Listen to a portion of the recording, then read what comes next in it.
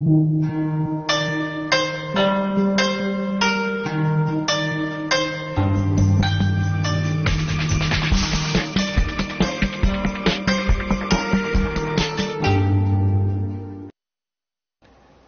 好，观众朋友，欢迎收看《国宝档案》。在中国大部分的石窟艺术中啊，佛教造像都是法相庄严神圣的，而位于重庆的大足石刻呢，却与众不同。这里的佛教造像充满了世俗化、生活化。造像中既有惊悚的十八层地狱，也有清新的女子吹笛、牧童放牛。大足石刻为什么会有这些？独特的造像艺术呢？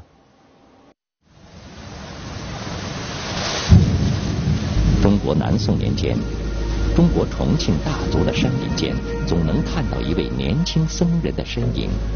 他身穿袈裟，头戴斗笠，走走停停。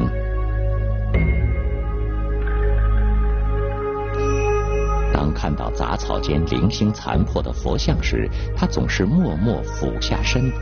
悲伤之情溢于言表。他是谁？又在干什么呢？这位年轻的僧人叫赵志凤。赵志凤生于重庆大足，五岁那年落发为僧。赵志凤天资聪慧，十六岁他只身云游，学习佛法。三年后，赵志凤学成返乡，传经布道。赵志凤发下宏愿，在有生之年一定要建造大型的、超越前朝的佛教石窟群。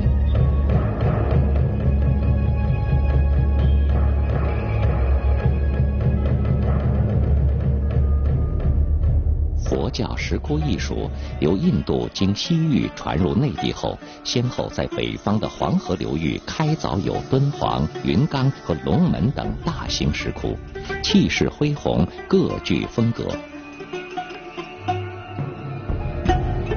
赵志凤想要再创辉煌，他在大足当地到处考察石窟造像。赵志凤知道。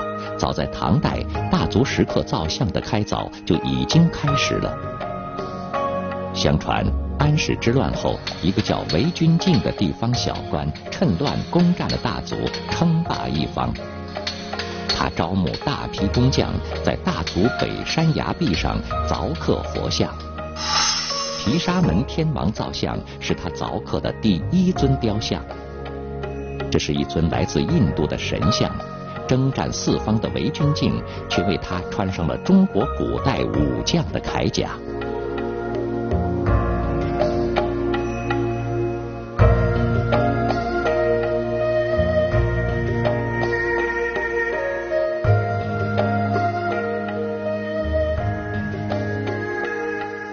外国人的面孔，中国人的铠甲。看着这尊独特的毗沙门天王造像，赵志凤的思绪仿佛回到了唐朝那个战火纷飞的年代。赵志凤突然豁然开朗，他宣扬佛法，希望众生从佛教中得到心灵的依托。那么，能不能在造像中融入更多的本土元素，用百姓最生活化的场景再现佛法呢？在赵志凤的设计中，大足石刻慢慢呈现出中国画的特征，这也成为大足石刻最鲜明的特色。赵志凤通过浅显的故事向民众阐述复杂的佛理，石刻连环画木牛图就是最好的体现。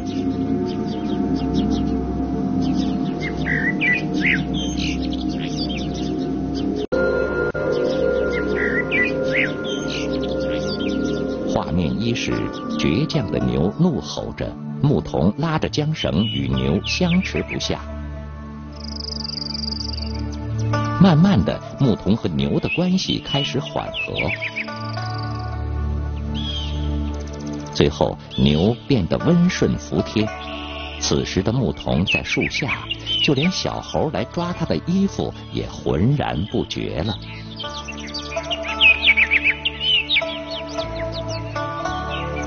牧牛图中，牧童象征修行者，牛象征人心，缰绳则代表清规戒律。牧童驯牛的过程也是修炼心境的过程。修行者最终管住了自己的心，达到物我两忘的境界。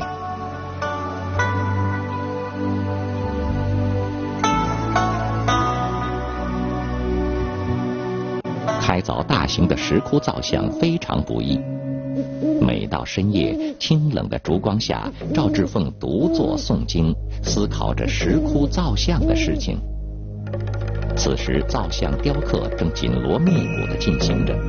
接下来要雕刻的是华严三圣，三尊佛像身高达七米。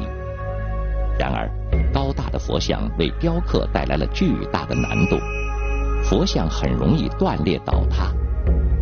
按照设计，文殊菩萨的手中还要托着七重宝塔，菩萨手腕悬空，石塔重约近千斤。这又隐藏着断落的危险。如何才能既不破坏佛像的艺术美，又让它稳如泰山呢？想了很多办法都不成功之后，赵志凤决定，不如就在菩萨本身做文章。文殊菩萨宽袍大袖，袈裟的衣襟搭在右臂的手腕上，斜着下垂，一直垂到与膝部相接。这样塔的重力不是单凭悬空的手掌支撑，而是经袈裟传到脚下的基座上，利用力学原理形成了稳固的三角支撑，使得佛像稳稳当当。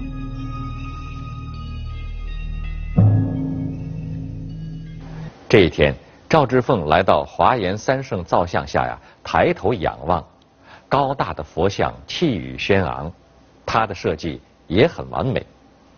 赵志凤呢非常得意，突然有几滴水呀滴在了他的头上。赵志凤嘴里喃喃的念叨着：“完了，完了。”他发现自己犯了一个致命的错误，这个错误令石窟造像的开凿没法进行下去。赵志凤也一病不起。这到底是什么错误呢？滴在赵志凤头上的水是山上的泉水，由于前几天刚刚下过大雨，泉水更盛，不断的流了下来。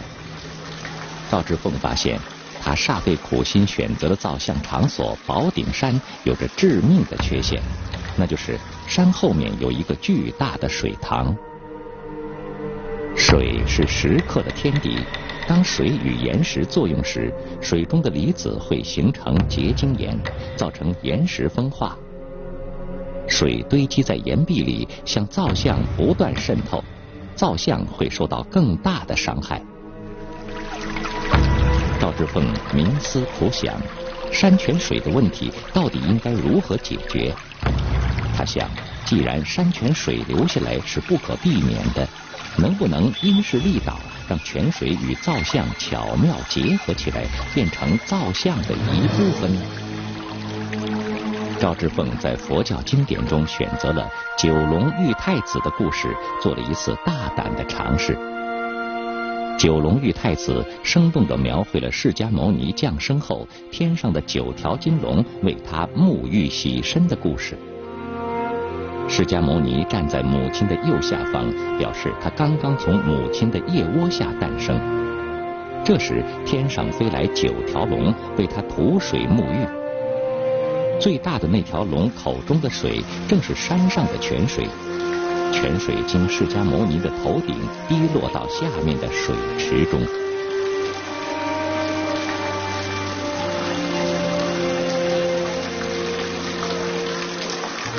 九龙玉太子的旁边是卧佛像，表现的是释迦牟尼佛圆寂时的情景。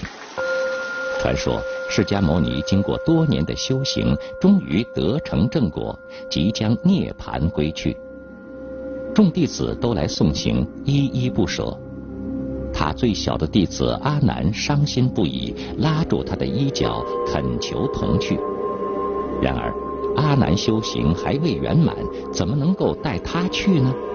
于是释迦牟尼一狠心，推开阿难，用手一挥，便出现了一条滔滔大河，将他们隔开了。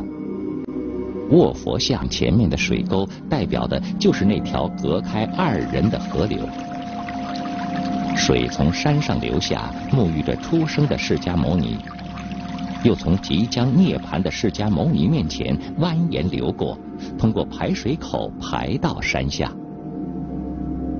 这一引水入境的独特技术构造，既巧妙地排除了水患，又符合了佛经的意境，一生一死，充满韵味。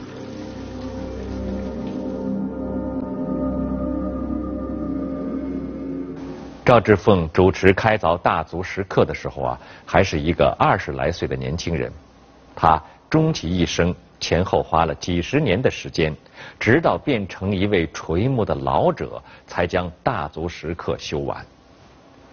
赵志凤用他的聪明和智慧解决了大足石刻的水患，但是，在大足除了露天的石刻，还有在洞里开凿的石刻。如果不能巧妙的排水，日积月累，洞里的石刻恐怕也要泡在水中了。那么？山洞里的水引到哪里去了呢？